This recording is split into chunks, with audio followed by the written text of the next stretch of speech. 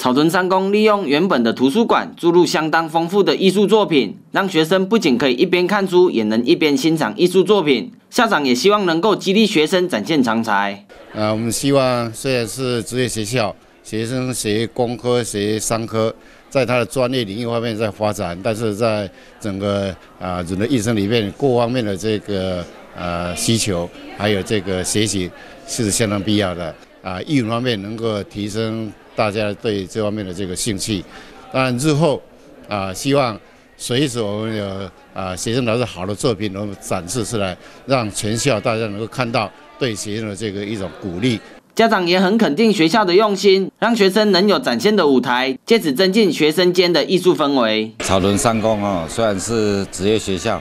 但是我们学校的学生能文能武啊，校长、主任、老师们都很用心。来成立这个艺文展示，让大家有机会把自己优良的作品拿来这边展览，激励同学们的艺术气息。先元廖子佑肯定草屯三公校长的用心，让学生可以展现自己的作品，也能学习到更多不一样的艺术气息。呃，草上的一个图书馆特别哈。啊，开放一个小区块来做一个呃，给学生作品的一个展览室，员工提供给学生一个更多元的一个哈学习啦哈。呃，除了讲吼，咱伫图书馆内底啊，咱来做呃阅读之外，啊各个学生在那边展现的他们的一个啊作品，把。